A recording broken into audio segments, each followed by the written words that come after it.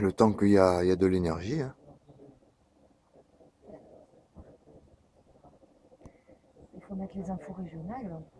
Ouais, ouais.